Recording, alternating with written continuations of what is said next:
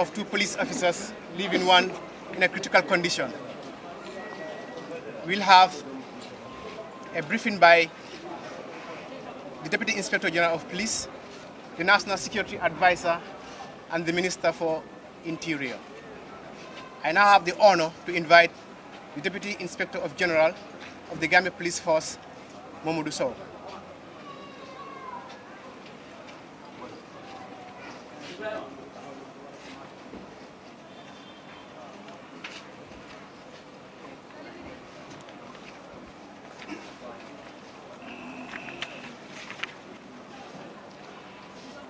بالله من الشيطان الرجيم. بسم الله الرحمن الرحيم.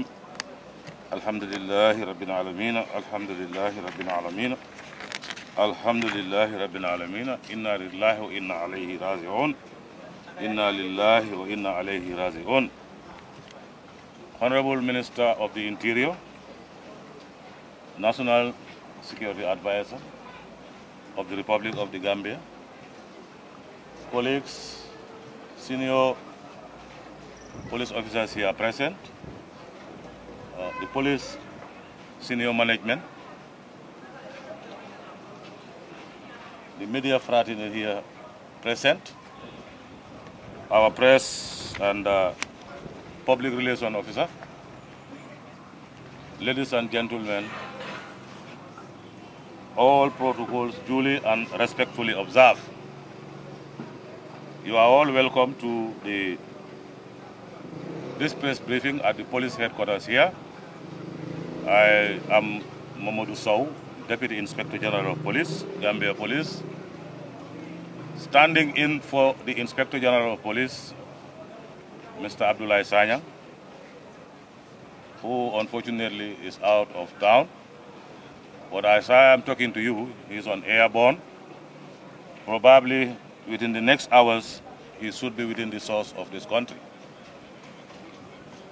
Having said that, uh, we put this gathering together for just one single purpose, that is through you who has the platform to reach out to the general public, to the citizen of this country and non-citizen of this country, to ensure we put you ahead.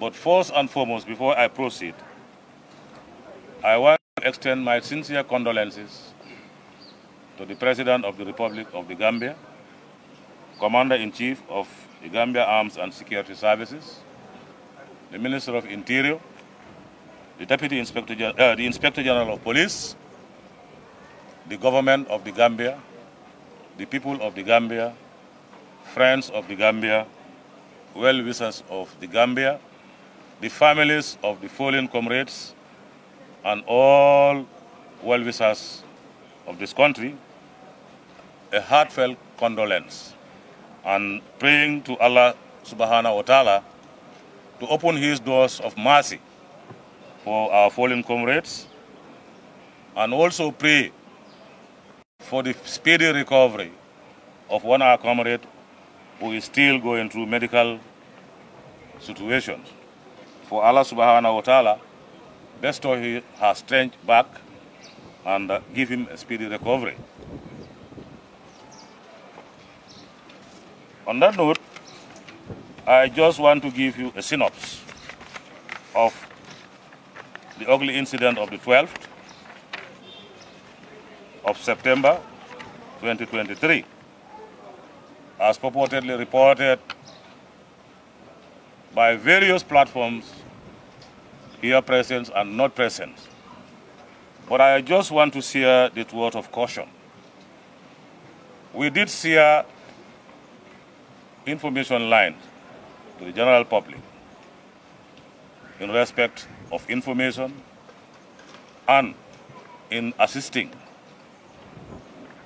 for the speedy and effective investigation. But I have noticed with dismay that there are a lot of informations going on the media, and they are not helpful. I think the source and the direction of all those information should have been transmitted to the police or the police be informed in order to harvest those informations and eventually put them into perspective, put them into use to help the situation. But not only sitting in your own comfort zone, releasing information that is unrefined. And some of you who work in the media fraternity would attest to this fact that information is very powerful and is very dangerous. In a sense, if it is not carefully checked, can lead into very, very serious situations. So having said that, we've lost two male police officers, private or police constable Pate and police constable Sangye Mendy. Gomez, police constable Sangye, Mendy, uh, Gomez, WPC Ansi Jao, a brave, determined, gallant, and very illustrious WPC, who is recovering from her predicament. And unfortunately, since the onset, up to today, this morning, there are reports circulating in the social media that she has succumbed to her injuries, which is definitely uncalled for, definitely inhuman, and definitely far from the truth. I would like to tell you from this point where I'm standing now, she is out of danger and recovering well and responding to treatment as it is required to be. So being the case, this is why I have started that bottom of telling us how information is dangerous and how information is powerful and how deadly information is. So if it is not gone to the real root, it might cause some complications. So having said that, I'll get into some of the synopsis of how the events has unfolded. There are other reports also that are circulating within the media, which is unfounded, unrefined, unhealthy, and desire to smear and intimidate, harass, or even to the extent of terrorizing the society, which are seriously unfounded. As far as we know, here is the truth, and this is the truth, and the whole truth. On that fateful day, we noticed a significant amount of telephone traffic from the suspect and all a lot of callers between the hours of 1900 or, six, or 1800 to 2100 hours. A high volume of telephone traffic. All right? I want to uh, seize this indulgence also to apologize on behalf of us to the general public and to you, the media here. Because I will use acronyms here that are coded and probably is only those who are working in the security fraternity who can uncode those codes because they go along with them. They are done significantly, significantly for only one particular purpose, to protect present, before, and after security operations, as far as security situation is concerned. So like I said, I do apologize if you cannot unquote those quotes and you don't understand what they are. We can't present this presentation here without having mention of them. And uh, probably it could be very much tedious for other people to understand. But that's how our job goes on. Like I said, this telephone traffic was identified on the grid 02854 Whiskey Echo 925. If you put this into context, it gives you Bruce Bruceby turntable. There's a cell tower, but it's coded as this, and these figures, it is only us who knows. We do that to ensure that we protect our future operations and incoming operations. This is where that significant amount of telephone traffic was going on as per the suspect's cell phone. Having said that, few hours later, the same signals were picked up at grade 004 29902 Sierra Zulu and close to latitude 1310. You put this also into perspective, it gives you between Sifo and Dimbaya. Some moments later, the same signals were picked up at grids 35593 Echo Tango 0441 latitude 1355. That is the edge of the Gambian border into Casamance. So that means from this point here, the suspect has been moving. And as a result of that, finally, his location was detected into the Senegalese territory, and that's where the telephone signals went dead. This is what we know, and it's a fact. Because grid references, most of us here, I think we have very few people who can measure grid references because they are coded internationally. They are used by militaries, security services across the globe. So, by 17 to 1800, we received the first signal of his presence in the direction of Sierra Yeli, or we say Sierra Yankee, at the Senegalese border, 10 to 15 kilometers approximation of the Gambia Casamance border, indicating a signal of somebody who is present there and who is most likely the suspect.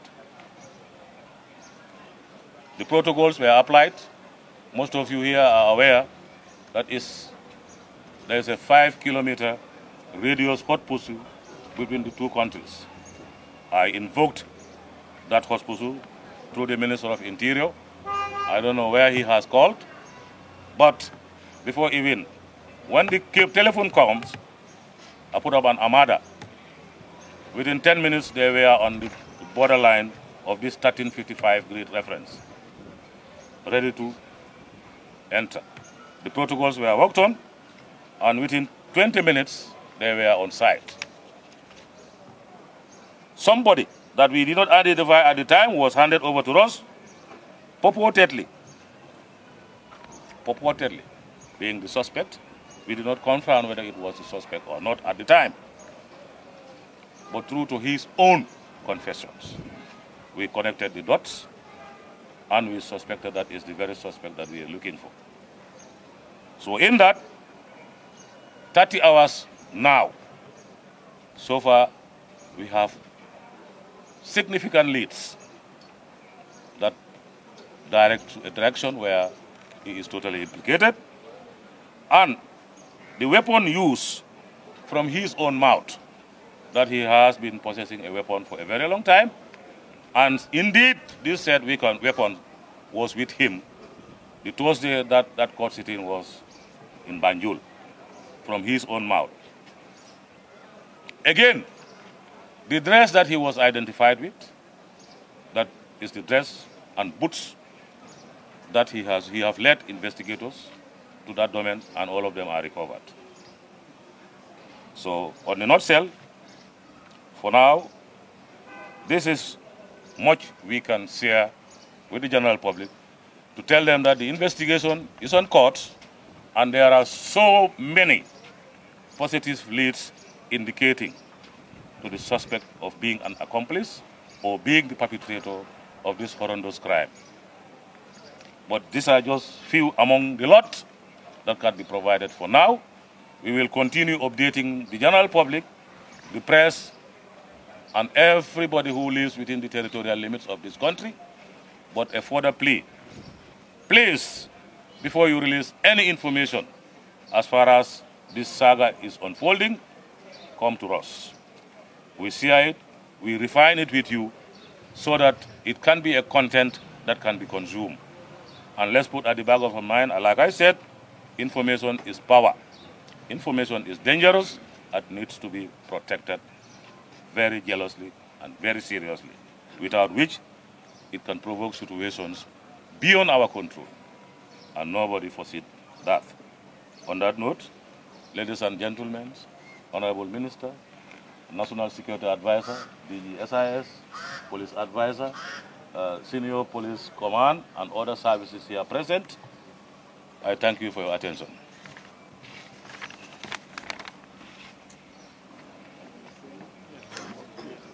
Thank you very much. That was the Deputy Inspector General of Police, Mamadou Sow. I now have the honor to invite the National Security Advisor. No, police advisor. This would have spoken for me. I'll just give it to the minister. Uh, okay. I'll just say No, no, no, no. You will be speaking out. I now have the honor to invite the National Security Advisor to brief this August gathering.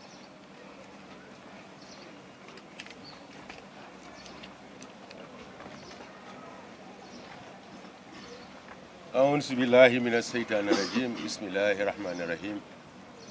إنا لله وإنا إليه راجعون. إنا لله وإنا إليه راجعون. إنا لله وإنا إليه راجعون.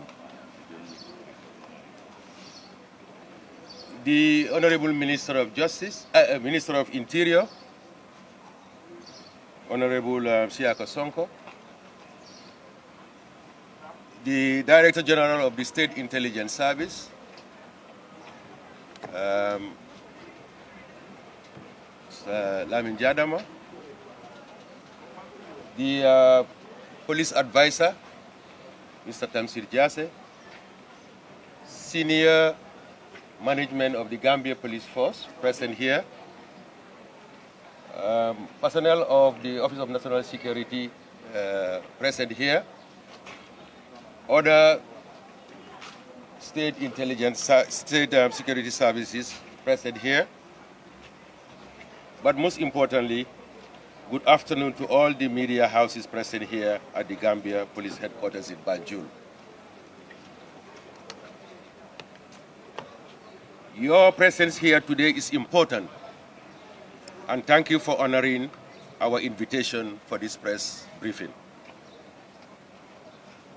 The press briefing is convened to provide situational update to the citizens and residents of this great country on the fatal shooting incident which occurred at the Sukuta Jabang traffic light on Tuesday, 12 September 2023.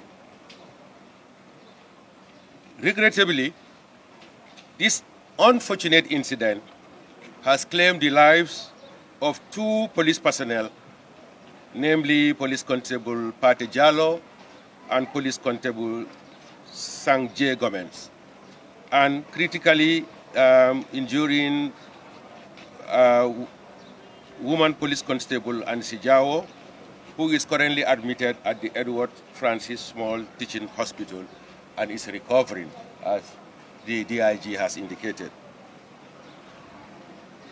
I take this opportunity on behalf of His Excellency the President of the Republic of the Gambia and Commander-in-Chief of the Gambia Armed Forces and the entire government and security institutions to convey sincere condolences to the families of the late Police Constable Pate Jalo and Police Constable Sangje Gomez. And of course, wishing WPC and Sijao a speedy and full recovery from this tragic incident. We collectively pray that the Almighty Allah grant the departed souls paradise and grant the bereaved families the strength and fortitude to bear the irreparable loss. Amen.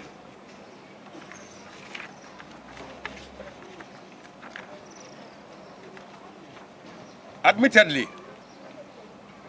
these are not only trying times for the bereaved families, but also represents a heavy loss to the entire nation, and in particular, security sector in the Gambia. But most importantly and profoundly, the institution where the two deceased belong to, the Gambia Police Force. As I mentioned earlier, we are deeply saddened by the shooting incident, which is a terrific act, barbaric, cowardly, irreprehensible, criminal, and totally condemnable by all standards of humanity. Contextually, the Gambia Police Force and all other security and law enforcement agencies are responsible for the maintenance of law and order, thus guaranteeing peace and stability in the country. In the exercise of this sacred national duty, these officers face danger to their own lives and safety, and in this instance, they pay the ultimate price with their own lives in carrying out this national duty for their country. I would like to applaud the remarkable leadership exhibited during this challenging period by His Excellency the President of the Republic of the Gambia and Commander-in-Chief of the Gambia Armed Forces. His leadership truly inspired the nation and demonstrated true statesmanship and steadfastness and devotion to his responsibility as head of state under the Constitution of the Republic of the Gambia. We salute him for his courage and the pronouncement he made in the aftermath of this tragic incident, particularly the assurances provided to the nation that the sanctity and the integrity of this country is uppermost and will be safeguarded at all costs. Additionally, the visit to the injured WPC Jawo and the reward he pledged for information leading to the arrest of the perpetrators was inspiring and indeed remarkable. At this point, I would like to provide a brief update on the ongoing investigations being carried out by the multi-sectoral panel that was convened to investigate this unfortunate incident.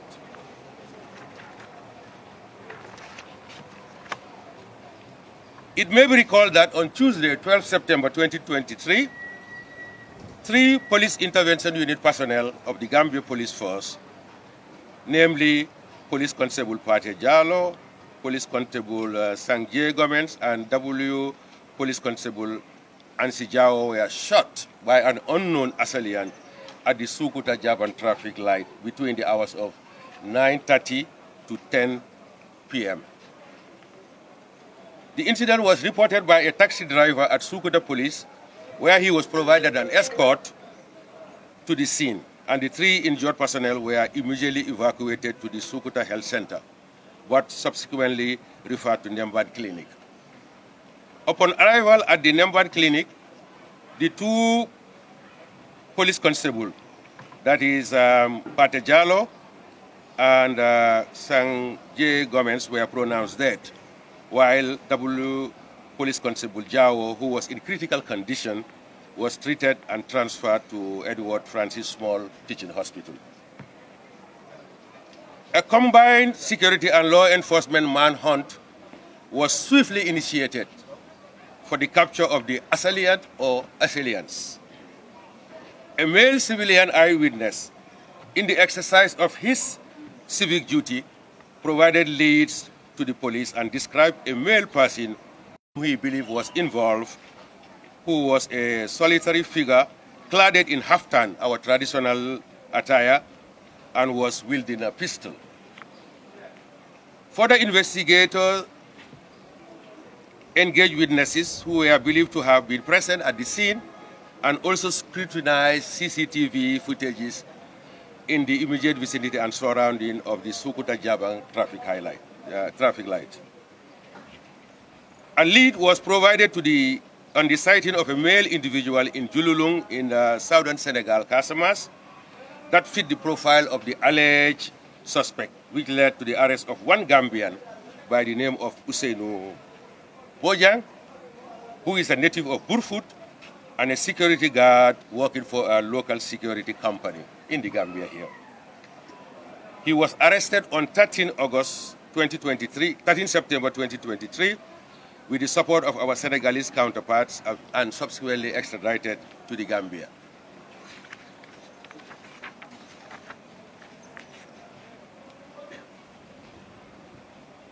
Usainu Bojang is um, currently assisting the ongoing investigation, which has resulted in the arrest of um, others who are believed to be accomplices or aided and abetted the alleged suspect. So far, as we speak, six persons of interest are in police custody, excluding the alleged suspect. The team of investigators are focused on establishing the possible motive of this dastardly act, which was, whether it was a lone individual or a group. Further, the crime scene was well managed and team of investigators will be conducting crime scene reconstruction to further determine key circumstances surrounding the incident. At this material juncture, I would like to reiterate that the Gambia is a country governed by laws. And no one, and I repeat, no one has the right whatsoever to extrajudicially take the life of another person. Law enforcers, like civilians, have fundamental human rights and freedom guaranteed and protected by our sacred constitution. These rights, such as right to life, personal security and liberty, and protection against violence are sacrosanct and should not be and should be upheld by all as guaranteed by the 1997 Constitution of the Republic of the Gambia. Concomitant with the above, I would like to further emphasize that the investigations are being conducted strictly, and I repeat, strictly, in observance of due process and human rights as provided in the Constitution and in line with international standard and best practices. We have a new founded democracy and the government should be commended for doing business in line with the Constitution and in line with um, the requirements and tenets of democracy. In this regard, we will ensure that maximum presumption of innocence is observed throughout the investigation process. By and large, the investigation will be impartial, professional, ethical, and would be conducted with strict adherence to the laws of the country. It is important to highlight that this incident is considered as a blatant attack to the peace and national security of the country. And no one, and I repeat again, no one will be left on, uh, no stone will be left unturned in bringing whoever is involved, regardless of status or affiliation. Justice will be served in this case. In the wake of this unfortunate incident, the Gambia Police Force has intensified police patrols and community engagements to always reassure the public of their safety and security. Therefore, I equally call on the public to volunteer any information to the police that could enhance the ongoing investigations. The government applauds the media's role in disseminating accurate information and update, and further requests for the respect of the privacy of the victim's family during this very difficult period. This is a challenging time for the entire country, and we should all be mourning the unwarranted loss of life of these gallant security personnel. To conclude, this incident is unprecedented in the history of this country, and the government is resolved to ensure that it will never, and I repeat, never again happen in this country. And therefore, all the necessary measures will be put in place to avert such occurrence. I thank you all for your kind attention and will invite few questions. However, noting that investigations are ongoing and therefore we will not be able to provide detailed and sensitive information that may likely interfere with the investigations. I thank you all for your attention. Thank you very much, the National Security Advisor. I now have the honor to invite the Minister of Interior. Minister, please. Assalamu alaikum. I greet you in peace. Um, I, by extension, greet the support staff from the police, from the DIG, by extension, the IGP who is on the way back, the other services here present, and uh, our friends, the media. I always say this, our friends, the media, we cannot be anybody to you, anything else to you but friends. Before joining service or taking up appointments, we were from the general public, and that's where we go back to. We promise to serve this nation and make sure that it is safe for everybody. Whilst others sleep, our young service personnel go out at night. When there was a huge traffic problem around the, the traffic light, Sukuta Jabang, it was felt necessary that they should be beefed up with extra security so that traffic can flow smoothly. These are considerations among many that the police undertake. There is no specific targeting of individuals. When duty calls, routine police procedures take place and should be taken just in that light, not as a consideration of targeting individuals. I, I cannot run away from this. It sickens me to read or to listen to audios where people were laughing about the, the loss of life and even claiming that more should, be, should have been done, threatening very nastily against people who are out to protect you. They protect all of us.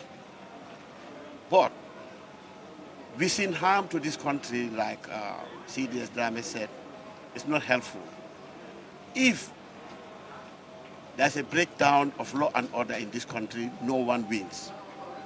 Not the security, not the civilians, not the administrators. We all lose. It should be our responsibility to preserve the peace that we inherited from our ancestors, our parents.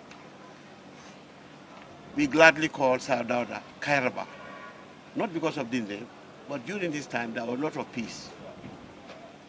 Some time ago, another head of state decided I was not going to go. I'm not going to be derisive, but it's a fact. Many of our parents left, including mine, my relatives, fled across the country because they felt it was not safe. Can we jealously guard this peace that we all have? It behoves all of us to protect each other. I'll go further to say this. Whilst a serious case like this happening, I noticed a plethora of interviews, people going everywhere. Yes, you have a right to get information. That is what was guaranteed. But can you please tone it down? Because sometimes you go to certain areas, the sort of uh, engagements that are, are made creates doubts or even causes more problems. A police investigation of this nature requires that they are not distracted when they are doing their duty. Um, we know you have a job to do. There's a freedom of information in this country. But if this is abused, it affects all of us. Sometimes when crises happen, the worst affected are the civilians because the services, they have training, they can do certain things to be able to defend, protect themselves. But really, our brothers and sisters out there, they need the, the, the, support of the services. Can we please, can we please show some love to the servicemen? I want to um, express my sincere condolences to the families of these young serving members of the police force whose lives were cut short. I would also like to commend the leadership of His Excellency, uh, President Barrow. When I was informed by the Minister of Defense that this, has, this happened around the Sukuta traffic light, like many, I said, no, it cannot happen. But I rushed to the scene, and there I was joined by many other services, their chiefs, to assist in the investigation. I noticed at the scene so many people who had nothing to do with it milling around, and it is very dangerous. My warning, my advice, I don't know everything, but we have experienced some. Please, an incident where danger lurks, please, civilians and others who have nothing to do, please walk away. If you have information, share it. There's no need to jump onto the scene. You are not adding any value. Instead, you are creating problems. It is very dangerous. I remember there was an incident where a young girl apparently died from some alleged malpractice in the house. Even before the police arrived on the scene, civilians jumped on the scene. You tamper with everything that the police could have to deal with the case. If the case is unresolved, you turn around and say the police are ineffective.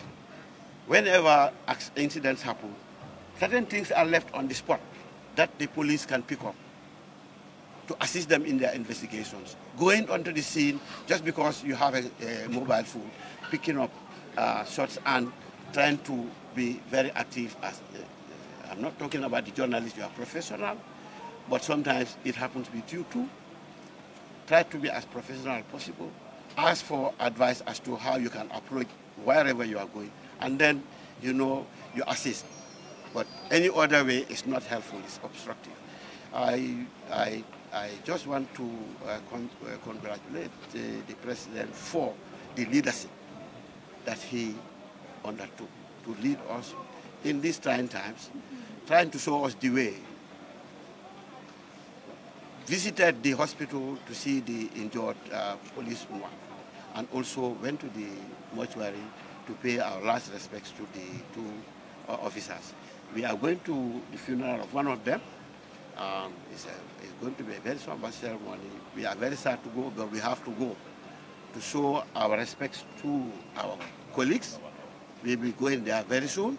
And uh, uh, just like the DIG said, you'll be invited, and the, the National Security Advisor said, we'll be inviting you once in a while to give you updates. In the meantime, could we try to exercise some restraint?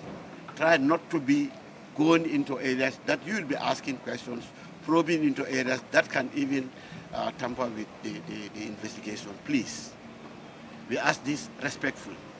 We appreciate you, but there are certain things that if you do, will not help.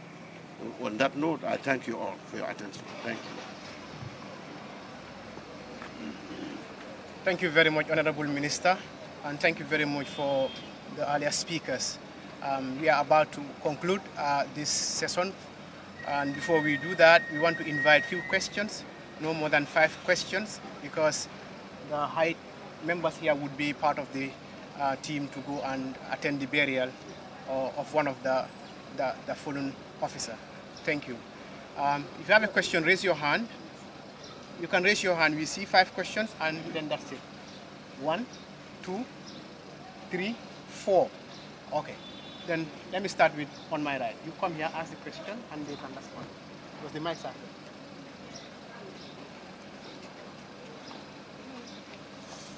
Okay, good afternoon everyone. My question goes to the Deputy Inspector General of Police, Mamadou Sow. Um, in your deliberation, as giving us synopsis of updates, you mentioned about the recovery of a weapon from the principal suspect. Can you go into details about what sort of weapon is this? Thank you. I thought, I think you were not within the podium here. There was no recovery of a weapon mentioned by me. He said he was in the possession of a weapon prior to this long time ago. So listen carefully. I didn't mention of any recovery. Thank you.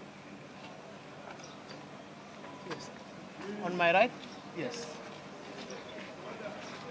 Thank you very much. Uh, this is Keba Ansumane for the Alkamba Times. Uh, my question is to the National Security uh, Advisor, who earlier mentioned that uh, six people were arrested you know, in connection to the case. We would like to know the names of these people and whether they have any connection with this servicemen. The other question is, we understand the, the, the suspect used uh, uh, pistol. We would like to know how did he, the suspect managed to get this mark, mark pistol. Thank you very much. Thank you for your question. Um, as I have indicated um, during my briefing, other than the um, suspect, um, Ousainou Bojang, there are other six, but um, I will not um, mention their names here. Um, but what I can also indicate to you is that um, as far as uh, the information we have uh, from the investigators, none of them are associated with um, um, any of the security institutions at the moment. This I can uh, highlight to you that yes, other than Ousainou Bojang, there are other six, but um, for sensitivity and uh, the nature of the investigation that is um, unfolding, uh, I am not at liberty to give you names, but I can also tell you that um, at the moment, none of them are known to be part of um, uh, the security services. The um, second aspect of your question was, um, We understand the suspect used mark yes, pistol. yeah. How did the, the suspect get to have or to have that pistol? No, I, I can take it. I can take it. I am not aware where it was indicated um, in the reports that was available to me that there was a specific description of the weapon. What we know is that it is a pistol, it's a firearm. What we also know um, is that the suspect have indicated to us that he acquired the weapon in Casamance. The suspect have also indicated to us that he has not served in any of the security institutions, but was a member of the rebel group in Casamance. That I can tell you. The weapon is not from any of our inventory as far as our um, uh, arms and ammunition are concerned, but he has indicated to us that he was a member of the rebels and he has fought in the Casamance um, insurgency, and this is where he acquired the weapon.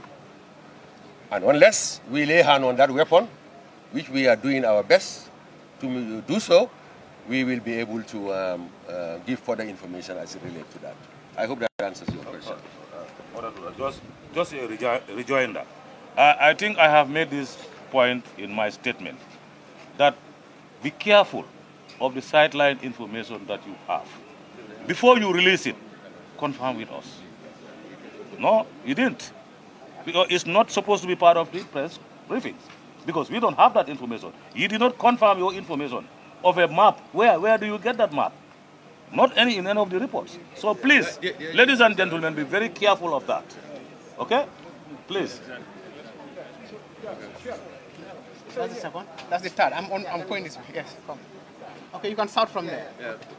Um, my first question is, um, are there any connection between the victim and the accused person?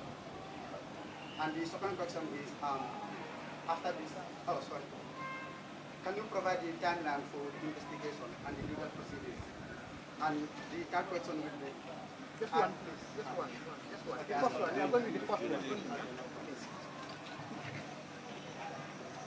As far as the preliminary reports, um, as it relates to the investigation is concerned, we are not aware of any affiliation or relationship between the accused and the victims. I think that was your question. We are not aware of um, their familiarity. Um, what we knew is that um, he happened to find them at the spot where they were and then carry out his nefarious activity uh, indiscriminately. But we are not aware of um, their previous engagement, uh, familiarity, or, or acquaintances. Um, it was just an unfortunate incident, and there were uh, uh, victims um, who were at a spot where you know somebody was out to do no good, and they, they became um, uh, casualties of that. What was the second side?